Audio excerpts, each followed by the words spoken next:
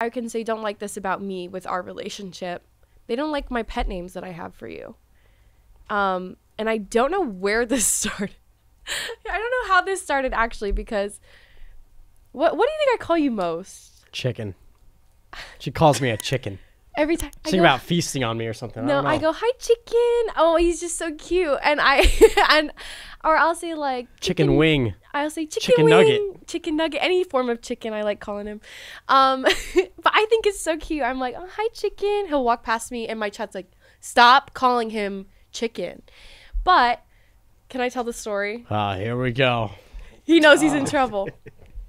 I'm like, this is on you, not me. yeah, I know. Um, This is your fault, not mine.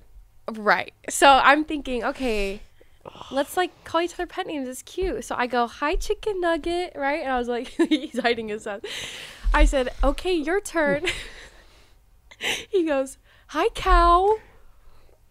Okay, listen. I said, I like eating chicken. So you call me chicken. I like eating steak. cow? Not like that. It's not even like you called me steak. It's not like you were like, oh, steak. You were like, this is why the names are a bad idea. you said, oh, cow. like, what? That's the best you could come up with? And I'm gonna imme- get canceled by No, your but. I immediately was like, oh god. I'm like, what'd you say? He's like, you like chicken? I, I like steak, cow. I was like, Come on, it was pretty funny.